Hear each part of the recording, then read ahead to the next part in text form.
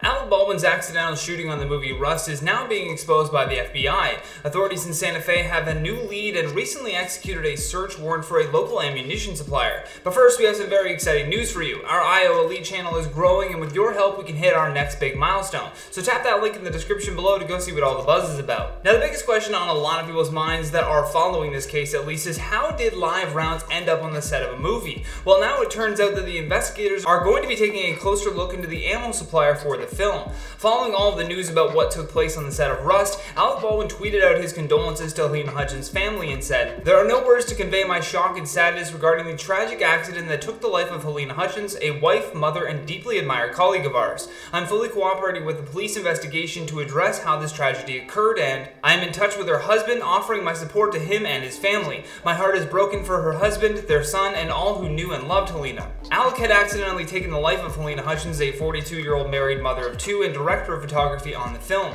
The single round that was fired from the prop managed to strike both Hutchins and the movie's director, 48-year-old Joel Souza. According to a witness, the single bullet struck Halyna in the body and then pierced Joel's clavicle. Hutchins was then airlifted to the hospital but was later pronounced dead. Joel Souza was also rushed to the hospital but was later released in the evening. According to the International Alliance of Theatrical Stage Employees Local 44, they claimed in an email that the incident was an accidental weapons discharge, and then went on to say, A live single round was accidentally fired on set by the principal actor, hitting both the director of photography, Local 600 member Halyna Hutchins, and director Joel Souza. Local 44 has confirmed that the props, set decorations, special effects, and construction departments were staffed by New Mexico crew members. There were no Local 44 members on the call sheet. And that first part, though, is the important part here. They confirmed that it was a live single round. Witness reports also told the press that Baldwin could be heard asking the people around him why he had been handed a hot weapon, going on to say, In all my years, I've never been handed a hot weapon. According to this new search warrant, New Mexico detectives have interviewed a man named Seth Kenney, who was one of the ammunition suppliers that the head armorer Hannah Reed had used on the set of Rust. When authorities were speaking with Hannah's father, Thell Reed, who was also an experienced armorer, Thell said he had worked with Seth on a different production before this. And here's where things get interesting. According to Thell, Seth had brought a can of about 200 to 300 rounds of live ammunition on that first production.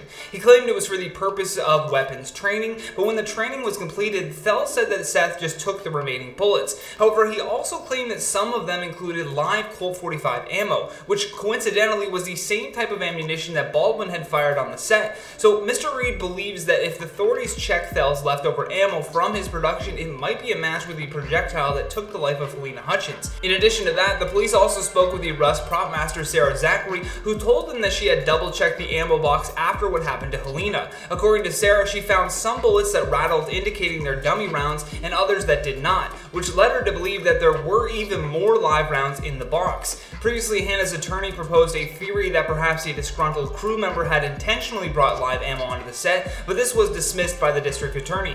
By executing this new search warrant, though, sheriffs have taken a huge step forward in figuring out how this live ammo ended up on the movie set. The expectation now is that the FBI will be comparing and analyzing the live rounds that they've seized to determine where they came from. But for now, that's all the time that we have for you today. Stay classy, and I'll see you on the next one.